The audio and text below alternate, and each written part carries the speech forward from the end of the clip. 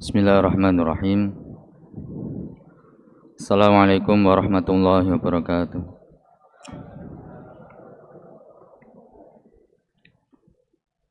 Innal hamdalillah nahmadu wa nasta'inu wa nastaghfiruh wa na'udzu billahi min shururi anfusina min sayyiati a'malina. Man yahdihillahu fala ومن يضلل فلا هادي له. أشهد أن لا إله إلا الله وحده لا شريك له. وأشهد أن محمدا عبده ورسوله.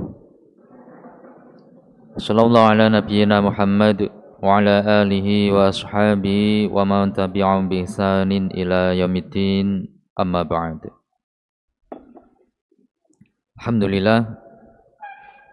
Kita panjatkan segala puji, pengagungan serta kecintaan untuk Allah Subhanahu wa taala. Karena karunia semata di malam hari ini kita bisa melanjutkan mempelajari bersama kitab Mala Yasa'ul Jahlu Liqari'il Quran masih dalam pembahasan tentang keutamaan-keutamaannya para pengemban Al-Quranul Karim Insyaallah malam hari ini kita membaca poin yang ke-9 di halaman yang ke-19 dan 20 disebutkan satu hadis. Adapun sarahnya insyaallah kita baca pada pertemuan yang berikutnya. Kita bermohon pada Allah Subhanahu wa taala semoga Allah Azza wa Jal senantiasa memberikan kemudahan pada kita semuanya di dalam menuntut ilmu syar'i di dalam memahaminya mengamalkan serta mengajarkan atau mendakwahkan kepada yang lainnya dan semoga Allah taala menjadikan ilmu kita sebagai ilmu yang bermanfaat dan diberkahi. Khanifitini rahimani wa. Poin yang ke-9 di bagian tengah dari halaman 19 Qala al-musannif hafizahullah taala libasu hafizil qur'ani bitajil waqari.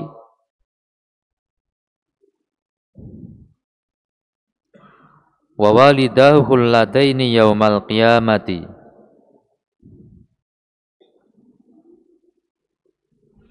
libasu hafidil qur'ani bahwasanya hafid Al-Qur'an seorang pengemban atau penghafal Al-Qur'an itu nanti akan mengenakan libsu memakai mengenakan Mengenakan apa? Bitajil waqari dengan tajil waqar. Taj, kemarin apa? Mahkota. Al-waqari kemuliaan. Ini keutamaan dari seorang penghafal Al-Quran. Di hari kiamat nanti, penghafal Al-Quran itu akan diberi kemuliaan di antaranya bentuknya dikenakan pada kepalanya itu tajil wakor ya bitajil wakor dengan taji mahkota al wakori kemuliaan mahkota kemuliaan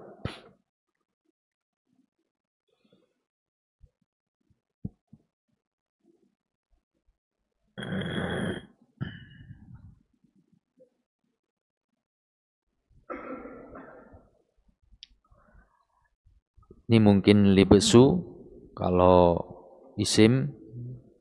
Adapun kalau fi'il ya berarti la bisa hafidul Qur'ani bitajil waqari. Wa walidahu sini kurang alif ya. Wa jadi setelah wawu itu ada alifnya walid. Ya ini apa? Orang tua. Kalau walad kan anak. Kalau walid orang tua. Wawalidahu sementara kedua orang tuanya kedua orang tua ayah dan ibu dari hafidul Quran itu dia mengenakan hullataini ya hullataini dua hullah. Kemarin apa hullah? Hullah yaitu pakaian kebesaran pakaian keagungan pakaian kemuliaan kedua orang tuanya ya kedua orang tua yakni ayah dan ibu dari hafidul Quran itu nanti akan mengenakan hullataini dua pakaian kemuliaan. Itu terjadi yaumul kiamati pada hari kiamat nanti. Ya, pada hari kiamat nanti. Baik. Maka ini dua poin yang disebutkan pada pembahasan atau keutamaan yang kesembilan. Poin yang pertama, si penghafal Al-Quran itu sendiri nanti di hari kiamat mengenakan tajul wakor, mahkota kemuliaan, mahkota keagungan. Poin yang kedua, ayah dan ibunya pun nanti di hari kiamat, tentu kalau ayah ibunya itu seorang yang mukmin, itu akan diberi kemuliaan pula berupa dikenakan pada ayah dan ibunya itu hullatain, dua pakaian kemuliaan. Nah, maka ini menunjukkan termasuk bentuk baktinya seorang anak kepada ayah dan ibunya yakni dia berupaya untuk menghafalkan Al-Quran sedikit demi sedikit dia menghafalkan Al-Quran dan memurojainya dan itu tentu butuh kepada perjuangan. Ya, tentu butuh kepada kesungguhan. Keseriusan di dalam menghafal Al-Quran dan memurojainya. Nah, maka di antara kemuliaannya kalau dia berhasil menjadi hafizul Quran, kalau dia berhasil menjadi penghafal Al-Quran, selain dia sendiri nanti di hari kiamat diberi mahkota kemuliaan oleh Allah Subhanahu wa taala di atas kepalanya. Selain itu juga mengangkat derajat orang tuanya sehingga kedua orang tuanya nanti di hari kiamat diberi dua pakaian kebesaran dua pakaian kemuliaan bagi ayah dan ibunya maka ini termasuk bentuk bakti yang luar biasa dari seorang anak kepada kedua orang tuanya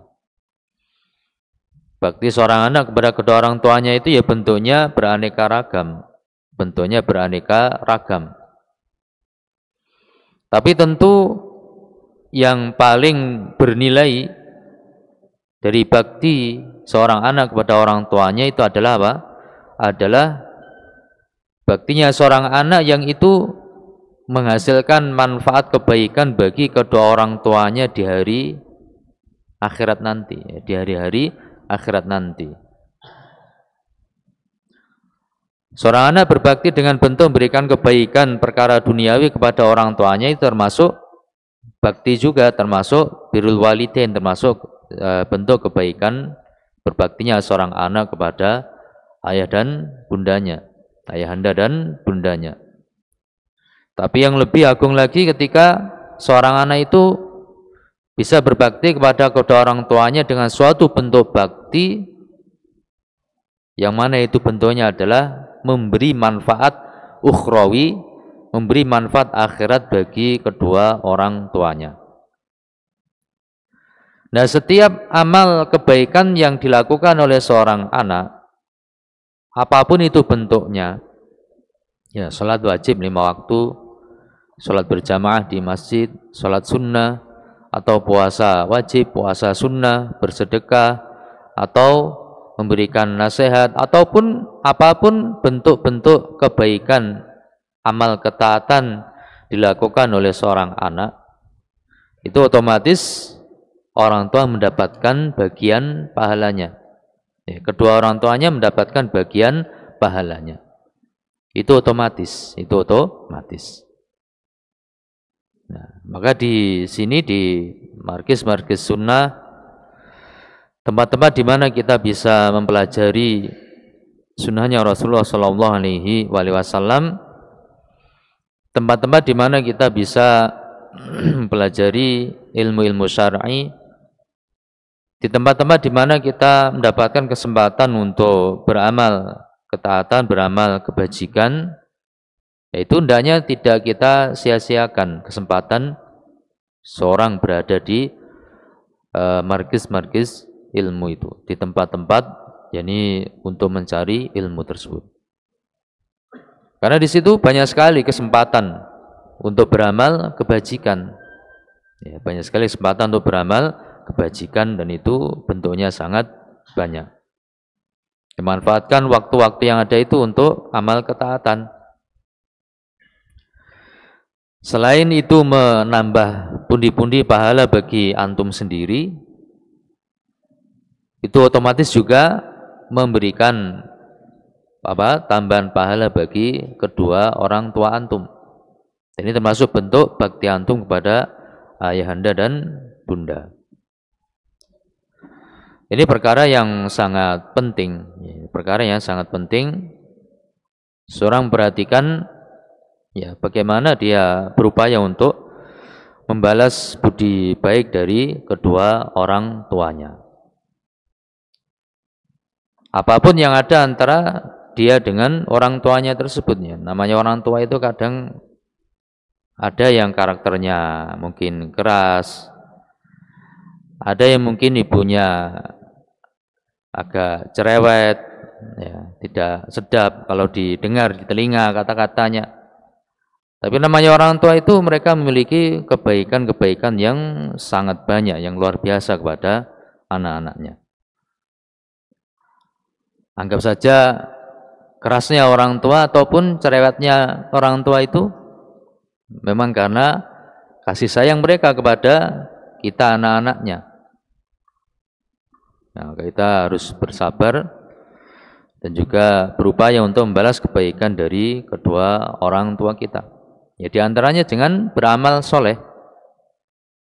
Ya jangan sia-siakan waktu-waktu yang ada itu untuk hal-hal yang tidak ada manfaatnya. Apalagi untuk hal-hal yang sifatnya merupakan kemaksiatan. Ya, ya itu merupakan sebab datangnya kemurkaan dari Allah Subhanahu wa taala. Jangan dihabiskan waktu untuk yang demikian itu. Manfaatkan waktu sebaik-baiknya untuk hal-hal yang bermanfaat. Nanti manfaatnya kembali kepada diri kita sendiri dan sekaligus kita juga berbakti kepada kedua orang tua kita. Baik. Rahimani wa rahmakumullah. Kemudian Musonif Hafidhullah Ta'ala menyebutkan hadis yang kemarin telah kita singgung sekilas cuplikannya, ya, cuplikannya. An Abdullah bin Buraidata dari seorang yang namanya Abdullah ya, An Abdullah bin Buraidata Buraidah dengan di tasghir. An Abi dari ayahnya yang namanya Buraidah radhiyallahu taala anhu. Qala sahabat yang mulia Buraidah radhiyallahu taala anhu itu berkata, Kuntu jalisan 'indan Nabi sallallahu alaihi wasallam. Kuntu ada saya dulu jalisan orang yang duduk indan Nabi di sisi Nabi sallallahu alaihi wasallam. Jadi beliau bercerita pada suatu hari, ini kalau bahasa kita kan gitu. Pada suatu hari, saya sedang duduk sama Nabi Shallallahu Alaihi Wasallam. Kalau cerita SD kan begitu. Pada suatu hari, mesti begitu kalau cerita di SD itu kan. Pada suatu hari itu. Saya sedang duduk bersama Nabi Shallallahu Alaihi Wasallam. Dan ini memberikan gambaran kepada kita bagaimana Nabi Shallallahu Alaihi Wasallam itu berinteraksi, bermuamalah berhubungan bergaul dengan para sahabatnya. Nabi itu bukan seorang yang menutup diri dari para sahabatnya ridwanu alaihim ajmain.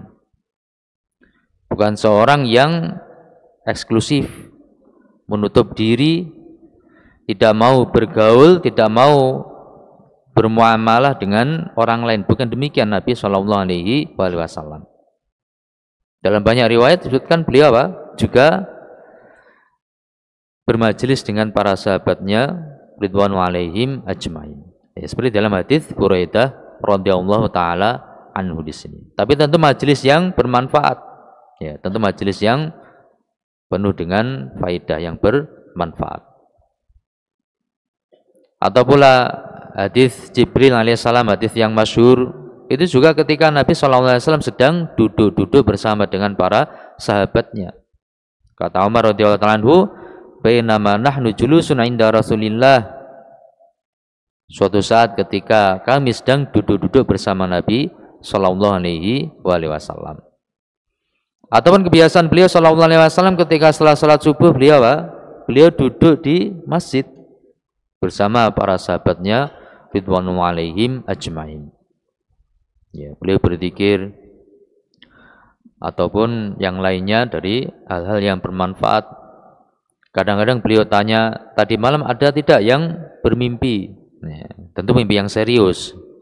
Untuk beliau takwil, untuk beliau tafsirkan, beliau takbir dari mimpi tersebut maknanya apa? Beliau tanya kepada para sahabatnya ataupun faedah-faedah ilmiah yang yang lainnya. Kadang-kadang Nabi mendengar para sahabatnya itu cerita tentang masa jahiliyah ya, ketika duduk-duduk di pada subuh itu cerita-cerita tentang masa lalu di masa jahiliyah kesirikan-kesirikan yang dulu mereka lakukan atau perkara-perkara jahiliyah yang lainnya. Dan Nabi mendengarkannya dan Nabi tersenyum. Ya. itu keadaan Nabi kita Muhammad Shallallahu Alaihi Wasallam. Ya, jadi beliau e, bermuamalah beliau juga bergaul dengan para sahabatnya duduk-duduk dengan para sahabat Ridwan alaihim ajmain. Ya, tapi tentu apa majelis yang berfaedah. Itu majelisnya Rasulullah Shallallahu Alaihi Wasallam. Maka tentang masalah apakah yang lebih utama itu uzlah menyendiri ataukah yang lebih utama itu bergaul dengan orang lain ini ada khilaf di antara para ulama rahmatullahi alaihim ajmain. Ya, tentu yang roja yaitu diperinci ya tergantung kepada keadaan dari masing-masing orang. Tapi hukum asal yang lebih utama adalah bergaul kalau dia mampu bersabar dalam bergaul bersama orang lain menghadapi aneka ragam sifat, karakter, sikap-sikap yang ada yang mungkin tidak berkenan di hatinya tapi dia mampu bersabar dan bisa memberikan manfaat bagi orang lain itu yang terbaik. Nah, itu yang terbaik. Tapi kalau memang tidak mampu untuk bersabar karena karakternya masing-masing orang kan berbeda-beda. Maka bisa jadi bagi orang tertentu yang lebih utama adalah uzlah menyendiri. Tapi menyendirinya juga tidak sepenuhnya, ya tentu tidak se sepenuhnya. Kembali ke pembahasan. Fasami'tuhu Lalu saya mendengar Nabi Shallallahu Alaihi Wasallam yakulu beliau sedang bersabda. Hadis ini uh, sedikit dipotong, ya. ya tidak semuanya di cantumkan di sini. Ketika itu Nabi SAW bersabda, Ta'allamu surat al-Baqarati wa ali Imrana. Ta'allamu adalah kalian mempelajari. Ya. Ta'allamu adalah kalian mempelajari. Belajar tentu maksudnya mempelajari cara bacanya, mempelajari maknanya, kemudian diamalkan itu maksud dari mempelajari. Dalam kalian mempelajari surat Al-Baqarah surah Al-Baqarah wa Ali Imran dan surah Ali Imran. Maka ini dalil menunjukkan uh, lebih kuatnya pendapatnya jumhur. Mayoritas para ulama rahmatullahi ajmain bahwasanya diperbolehkan menyebutkan nama surah itu suratul Fatihah, suratul Baqarah, surah Ali Imran, surah An-Nisa dan seterusnya sampai surah An-Nas itu diperbolehkan penyebutan seperti itu. Itu yang rojih dari pendapatnya jumhur, mayoritas para ulama rahmatullahi alaihim ajmain. Sebagian ulama berpendapat tidak boleh. Yang boleh itu menyebutkan apa? Surah tu allati yudhkaru fiha atau tudhkaru fiha al-Baqarah. Panjang. Nah. Surah yang mana disebutkan di dalamnya tentang al-Baqarah sapi betina. Nah, itu pendapatnya sebagian ulama. Tapi yang rojih seperti dalam hadis ini boleh menyebutkan suratul Baqarah. Nabi menghasung kita untuk apa? Mempelajari surah Al-Baqarah dan surah Ali Imran. Surah yang kedua dan surah yang ketiga dalam tartib mushaf. Alasannya apa? Fa'innahuma karena dua surah tersebut surah Al-Baqarah dan surah Ali Imran adalah az-zahrawani. Z-nya di fathah, haknya ro-nya di fathah, wawunya di fathah. Zahrawan. Nah, benar toh? Jadi kasih tahu dobetnya, harokatnya, artinya apa? Ya tinggal nulis. Kalau nggak bawa buku ya tinggal dihafalkan gitu kan. Ya, kalau nggak buku tinggal dihafalkan. Nah ini dobetnya begini. Oh Z-nya di fathah hanya disukun ya, dan seterusnya. Karena surah Al-Baqarah surah Al-Fatihah eh surah Ali Imran itu adalah Az-Zahrawan.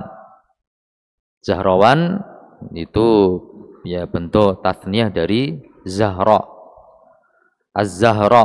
Az-Zahra itu tasniah dari Al-Azhar. Al-Azhar itu apa? Al-Azhar itu sesuatu yang bersinar terang itu. Al-Azhar itu sesuatu yang bersinar terang. Kemudian tasniahnya menjadi Az-Zahra. Lalu Az-Zahra dibentuk tasniah dua, yakni menjadi Zahrawan. Dua hal yang bersinar terang. Kenapa Rasulullah SAW mengungkapkan surah Al-Baqarah dan surah Al-Imran itu dengan dua hal yang bersinar terang, yang bercahaya gemilang? Ya, karena dua surah ini sangat banyak cahaya petunjuknya, baik itu berupa nasihat-nasihat maupun hukum-hukum ataupun terkait al-asmaul husna banyak sekali disebutkan di dalam surah Al-Baqarah dan surah Ali Imran tersebut. Sehingga diibaratkan sebagai dua hal yang bercahaya, yang bersinar terang. Yang menerangi jalan kehidupan seorang hamba. Yudhillani nanti di hari kiamat keduanya yudhillani dari adhalla yudhillu yudhillani yudhillani ini apa menaungi keduanya menaungi sahibahuma pemilik dari dua surah tersebut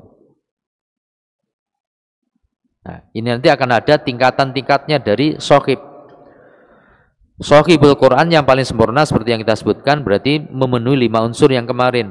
Membaca, menghafal, memperbaiki bacaan, dan e, memahami kemudian mengamalkan lima unsur itu yang paling sempurna. Itu yang paling sempurna. Tapi nanti ada level-level di bawahnya yaitu kalau hanya melaksanakan sebagian dari unsur-unsur tersebut. Surah Al-Baqarah dan surah Al-Imran itu akan menaungi sahibahuma yaumal qiyamati pada hari kiamat nanti. Ya, di hari yang penuh dengan huru hara, di hari kiamat ketika manusia dibangkitkan kemudian digiring semuanya dengan cepat menuju ke padang mahsyar. Ya, di situ matahari didekatkan sejarak satu mil. Sejarak satu, satu mil sangat panas. Tapi Allah takdirkan tubuhnya manusia ketika itu menjadi sangat kuat. Cuma karena matahari satu mil berarti kan sangat panas. Sangat, sangat panas. Ya, matahari sekarang ini jaraknya kan berjuta-juta mil. Didekatkan hanya satu mil. Satu mil itu satu koma berapa? Satu koma dua atau satu koma enam? Satu koma enam kilo kalau nggak salah. Ya, itu satu, satu mil. Ya, sehingga keringatnya masing-masing orang itu bercucuran tenggelam dengan keringatnya masing-masing sesuai dengan amalannya ketika di dunia ini. Ada yang keringatnya hanya sampai ke mata kaki, ada yang sampai ke lutut, ada yang sampai ke pusar, ada yang sampai ke leher, ada yang tenggelam dengan keringatnya. Ya, sesuai dengan amalannya masing-masing ketika di dunia ini. Nah maka orang yang memiliki amalan surah Al-Baqarah dan surah Ali Imran, bacaan Al-Baqarah dan Ali Imrannya itu akan Allah wujudkan menjadi suatu naungan yang nanti menaunginya di hari kiamat. Karena huma seakan-akan keduanya itu yakni perwujudan dari surah Al-Baqarah dan surah Al Imran itu ghayayatani au ghamamatani au firqani min sawaffa tiga apa? Rasulullah SAW menyebutkan tiga bentuk perwujudan penjelmaan dari bacaan Al-Quran yang seorang hamba membaca surah Al-Baqarah dan surah Ali Imran itu ada tiga bentuk Kalau apa yang kita cek itu disebutkan dahulu goma matani au goyayatani. Nah, kalau di sini ya, dalam uh, tulisan ini goyayatani baru kemudian goma matani. Goynya di fathah, ya-nya di fathah, ya-nya di fathah, goyayatan. Ya, tasniah dari goyayah ya tasniah dari goyayah au matan atau matan tasniah dari gomamah ya tasniah dari gomamah uh, kita artikan dulu sesuai apa yang kita cek ya. Matan ya matan itu dua gomamah dua gomama maksudnya gomama itu apa? Gomama itu as-sahaba. Sahaba itu awan mendung. Ya awan mendung. Yang tebal yang gelap. Ya, yang gelap ya, karena tebalnya dan karena hitamnya sehingga bisa menaungi Sahibul Baqarah dan Ali Imran tadi itu kalau gomamah Gomamah. Berupa dua dua mendung, ya, dua mendung yang menaungi, ya, dua mendung yang menaungi. Mendung yang tebal dan gelap. Ini sifatnya agak umum. Kalau goya yatani itu dua goya ya. Apa goya ya? Goya ya itu segala sesuatu yang menaungi. Ya, segala sesuatu yang menaungi kalau berupa mendung itu mendungnya tipis dan putih cerah. Ya. Dan itu uh, lebih dekat dibandingkan gomama. Kalau gomama itu di atas, kalau gomama itu di atas, awan di atas. Kalau goyaya itu lebih dekat, lebih dekat dan khusus bagi satu orang itu. Ya. Naungan khusus, ya. naungan khusus bagi orang tersebut. Kalau gomama itu naungan lebih umum, agak luas. Kalau goyaya lebih khusus. Dan dia warnanya putih cerah. Sehingga mengandung dua unsur. Unsur yang pertama menaungi, unsur yang kedua menerangi. Itu kalau goyaya. Itu lebih istimewa. Ya, goyaya lebih istimewa dibandingkan gomama. Ya, goyaya lebih istimewa dibandingkan gomama. Ya. Jadi tinggal antum tulis, ya tinggal antum tulis, nggak usah nyari. Itu enaknya apa? Itu kelebihan dari belajar apa? Belajar dari guru dibandingkan belajar otodidak. Ya, belajar otodidak masih nyari. Ini bacanya gimana? Oh, baca gini, gini, gini. Terus artinya apa itu goya ya? Gua mama. Cari kamus nggak ketemu. Cari sarah hadis nggak ketemu. Cari sarah hadis yang lain nggak ketemu. Gitu kan. Mesti cari-cari. Nah, ini enak. Tinggal apa? Tinggal nyatet. Nah, tinggal nyatet menghemat waktu ya hemat waktu hemat tenaga kan gitu hemat waktu hemat tenaga sudah dapat faedah tinggal tinggal nyatet atau kalau nggak nyatet ya tinggal tinggal menghafal ya. kalau nggak nyatet tinggal tinggal menghafal. Baik. Jadi kalau goyaya apa goyaya itu dua unsur dia itu naungan sekaligus menerangi ada cahayanya. Au firqani atau dua firqun. Fa-nya di kasrah ra-nya disukun dua firqun ya dua firqun. Firqon itu dua firqun firqun itu apa? Firqun itu kelompok. Dua kelompok mintoirin dari burung-burung. Jamak dari toir ya toirin ya, burung-burung. Dua kelompok dari kumpulan burung-burung sawafa sodnya di fathah wawunya di fathah fa-nya di tasdid kemudian fathah sawafa. Ya. Jadi ini mamnu sorf. Burung-burung sawafa yang berbaris. Sawaf itu kan sof. Sofa ya. Bentuk jamak dari sofa. Yakni burung-burung yang berbaris. Berbaris maksudnya ya mereka beberapa burung ya dua kelompok. Masing-masing kelompok ada beberapa burung dan mereka itu mengepakkan sayapnya yang membentangkan sayapnya dan itu sayapnya itu nyambung. Nanti akan disarahnya seperti itu. Sayapnya itu nyambung kemudian menaungi orang tersebut. Ini lebih khusus lagi. Jadi yang paling istimewa dibandingkan Tadi urutannya yang pertama gomama di atas jauh menaungi saja. Yang kedua goyaya agak di bawah khusus menaungi orang tersebut menaungi dan berikan cahaya. Kalau ini yang ketiga ini firqoni min soaf itu lebih dekat lagi menaungi kemudian menjaga orang tersebut. Ya, menaungi dan menjaga orang tersebut dari panasnya kondisi ketika di padang mahsar itu. Baik. Tapi hadisnya masih panjang. Ini satu bagian dari hadis tersebut karena hadis ini ada beberapa bagian. Insya Allah kita cukupkan dulu sampai di sini. Kelanjutan hadisnya kemudian juga sarahnya insya Allah kita baca pada pertemuan akan datang. Kemudian bisa difahami dan bermanfaat. Wallahu a'lam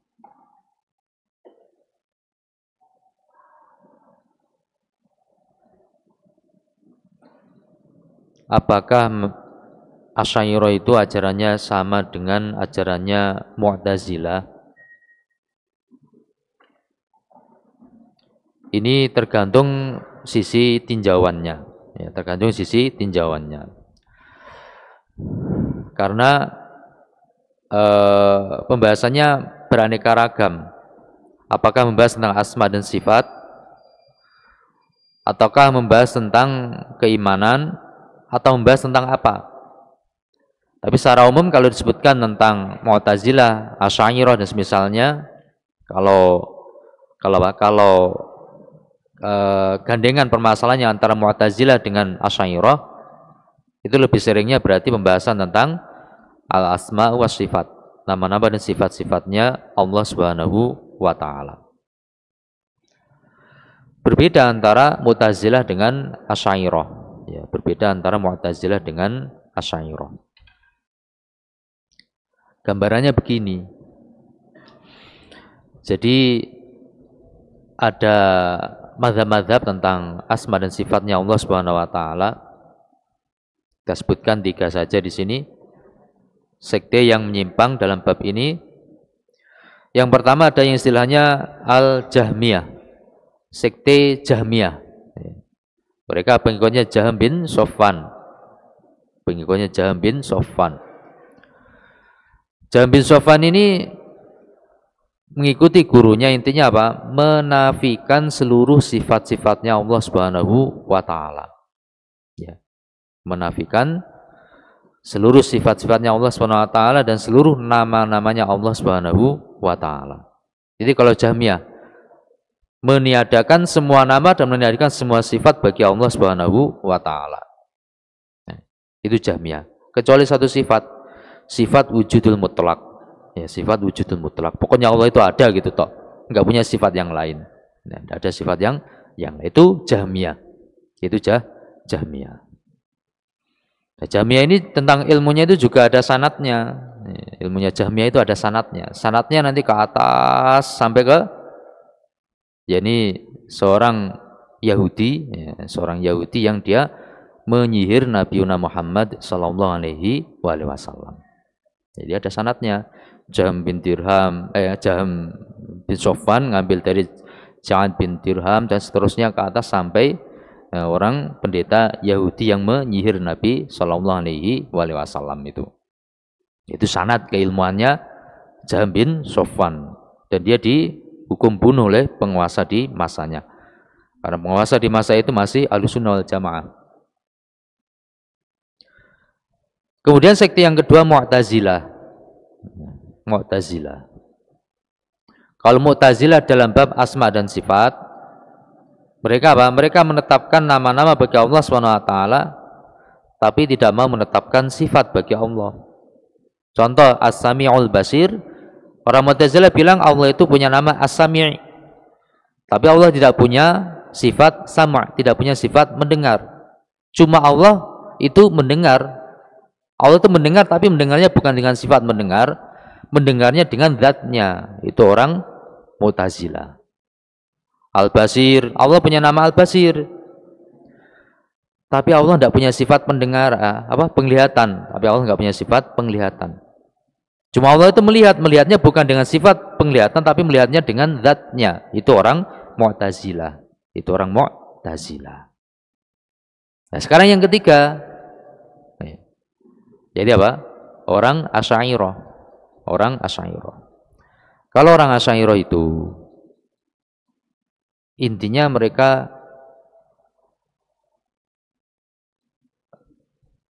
uh, menetapkan nama bagi Allah Subhanahu wa taala. Tapi terkait sifat-sifatnya Allah Subhanahu wa taala orang Asy'ariyah itu hanya menetapkan sebagian kecil saja di antara sifat-sifat yang telah disebutkan oleh Allah SWT dalam Al-Quran maupun disebutkan oleh Rasulullah SAW di dalam As-Sunnah. Sebagian besar mereka takwil. Sebagian besar mereka takwil. Itu orang Asyairah. Jadi beda antara Mu'tazilah dengan Asyairah. Beda antara Mu'tazilah dengan Asyairah. Itu kalau bicara tentang sekte. Tapi kalau bicara tentang individu-individu bisa jadi ada orang itu dirinya merupakan kompilasi campuran gabungan antara madhab-madhab. Dalam bab ini dia Khawarid, dalam bab ini dia Asairoh, dalam bab ini dia gini, dalam bab ini dia gini. Kadang-kadang ada orang-orang yang seperti itu. Wallahu a'lam bishawab.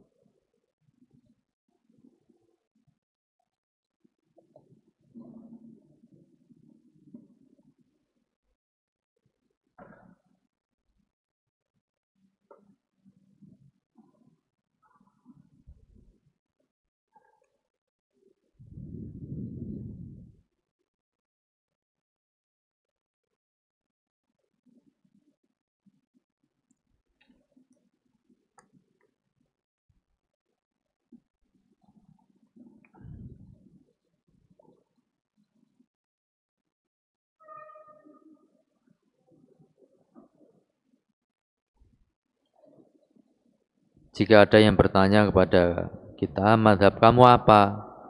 Maka apa yang harus kita jawab? Ini madhab yang dimaksudkan madhab dalam bab apa?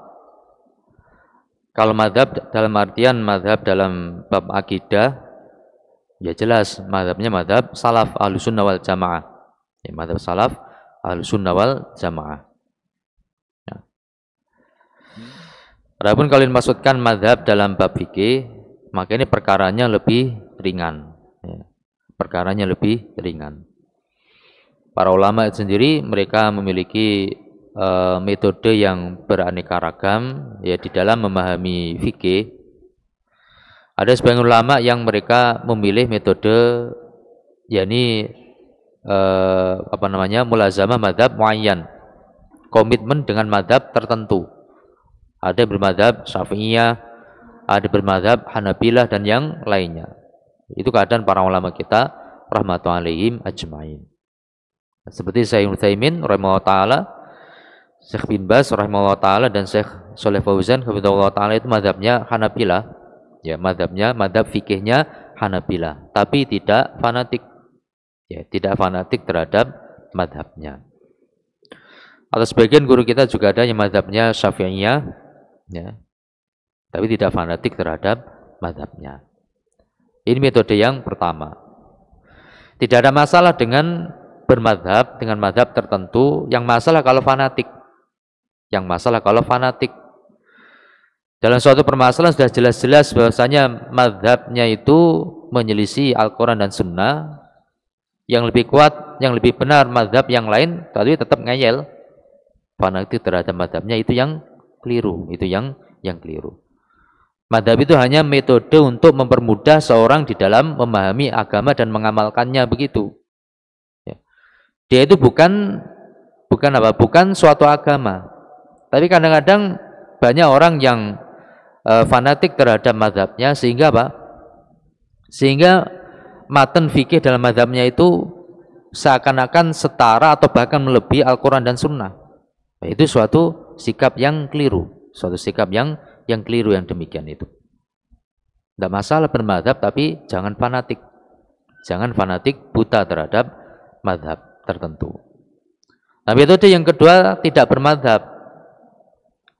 Tidak bermadhab itu bukan artinya tidak memperhatikan penjelasan para ulama dari berbagai madhab, bukan. Tapi maksudnya memperhatikan dalam setiap masalah itu memperhatikan kalam-kalamnya para ulama dari berbagai madhab kemudian memilih mana yang rojih dari madhab-madhab tersebut. Dari madhab-madhabnya para ulama tersebut. Yang pakai metode seperti ini di antaranya seperti saya Albani rahimahullah ta'ala saya Muqbil al-Wadi'i rahimahullah ta'ala dan semisalnya itu metode tarji ya metode tarji nah, dua metode ini tidak ada masalah. Yang masalah kalau fanatik. Yang masalah kalau fanatik terhadap uh, madhab tertentu, golongan tertentu atau fanatik terhadap imam tertentu, ulama tertentu itu yang masalah, itu yang masalah. Ya kemudian yang masalah lagi apa? Yang masalah lagi kalau di luar dua metode tadi. Dalam artian apa? Dalam artian tidak mengikuti madhab tertentu. Kemudian dia juga tidak pakai metode tarjih dengan melihat kalamnya para ulama al-sunnah jamaah rahmatullahi alim ajmain tapi memahami Al-Quran dan Sunnah dengan pemahamannya sendiri. Ini suatu metode yang keliru. Ini suatu metode yang yang keliru. Nah, kadang-kadang orang salah paham dengan madhab salaf. Disangkanya madhab salaf itu madhab yang baru kemudian memahami Quran Sunnah dengan pemahamannya sendiri. Itu kan banyak tuduhan-tuduhan seperti itu banyak tuduhan-tuduhan seperti seperti itu. Itu suatu kesalahpahaman. Salafi itu tidak seperti itu. Kalau salafi yang sebenarnya tidak seperti itu. Salafi yang sebenarnya itu yakni berpegang teguh dengan Quran dan Sunnah, berupaya mengikuti pemahaman para sahabat dan mereka memperhatikan keterangan para ulama rahmatullahi alim ajmain terhadap Al-Quran dan Sunnah tersebut. Kalau ulama terdahulu sudah ijma, mereka ikuti ijma itu, kesepakatan tersebut. Kalau ulama dahulu berbeda pendapat, dan mereka berupaya untuk mencari mana yang lebih kuat dari dua pendapat tersebut. Nah, ini metodenya salafi. Bukan salafi itu kemudian memahami Quran Sunnah dengan pemahamannya sendiri, ya dengan pemahamannya sen sendiri. Tapi masalahnya memang ada sebagian orang yang afiliasinya nisbahnya kepada salafi kemudian apa? memahami Quran Sunnah dengan pemahamannya sendiri ya itu jadi masalah.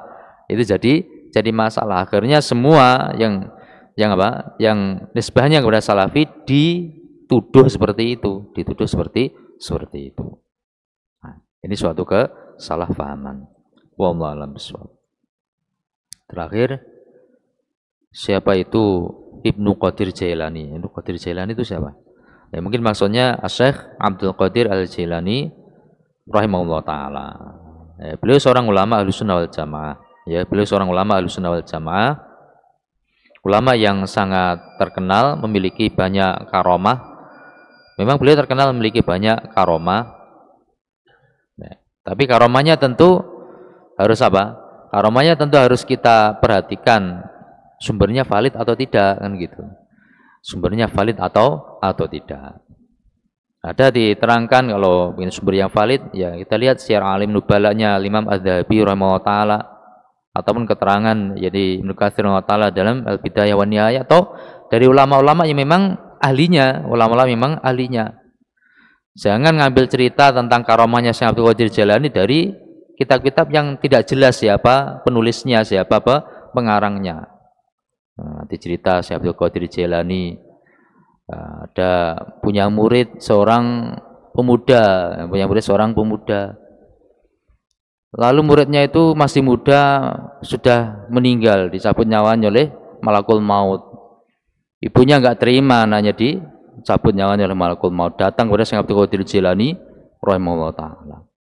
Syekh, ini gimana anak saya murid jenengan kok masih muda sudah dicabut nyawanya, tidak terima, tidak terima cabutnya. Nah, lalu Syekh Abdul Qadir Jilani terbang mengejar malakul maut. gitu. mengejar malakul maut Syekh Abdul Qadir. Nah, Ternyata terkejar malakul mautnya oleh Syekh Abdul Qadir Jilani. Terkejar kemudian itu malakul maut bawa keranjang isinya ruh-ruhnya orang yang baru dicabut nyawanya. Direbut sama Syekh Abdul Qadir Jilani keranjangnya itu. Akhirnya berhamburan tuh ruh-ruh yang ada di keranjang itu kembali ke masing-masing termasuk ruhnya pemuda tadi kembali ke jenengan. Wah, cerita apa maneh nah, cerita-cerita khurafat enggak jelas ini. Siapa yang penulisnya itu enggak jelas. Dan banyak sekali kisah-kisah yang lainnya. Nah, intinya beliau punya banyak karamah, keramat karena beliau memang waliullah. Beliau seorang ulama al-sunnah jamaah.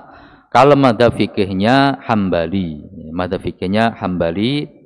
Di antara murid beliau itu Al-Imam Ibnu Qudamah Al-Hambali rahimahullah ta'ala yang punya kitab Al-Mughni, punya kitab Al-Muqni, punya kitab Al-Kafi, punya kitab uh, Umdatul Fiqh, punya kitab Raudhatun Nadir, punya kitab Zammut Ta'wil dan kitab-kitab yang yang lainnya. Itu kalau madhab fikihnya Hambali, ya madhab fikihnya Hambali. Adapun kalau pemahaman akidahnya seperti kita sampaikan di pertemuan sebelumnya, Syekh Abdul Qadir Al-Jilani rahimahullah taala itu ulama ahlu sunnah wal jamaah di atas madhab salaf, ya, di atas madhab salaf bukan Asy'ariyah, ya bukan Asy'ariyah. Itu bisa dilihat dari kitab beliau yaitu Al-Ghunyah, ya dalam kitab Al-Ghunyah dari sisi akidahnya beliau adalah ahlu sunnah wal jamaah. Mengikuti paham atau madhab salafiyah ahlu sunnah wal jamaah, bukan Asy'ariyah. Ya bukan Asy'ariyah itu Syekh Abdul Qadir Al-Jilani rahimahullah taala. Tapi antum jangan baca kita Al-Ghunyah, nanti nggak bisa milah-milah apa yang ada di dalamnya. Di dalam kitab al itu kalau masalah akidahnya tidak ada masalah. Tapi masalah amalan, wah di situ banyak amalan macam-macam. Nanti antum amalkan sakti nah, karena beliau bukan ahli hadis. Ya, Syaikhul Jilani taala bukan ahli hadis. Beliau itu uh, bidangnya lebih kepada tazkiyatun nufus.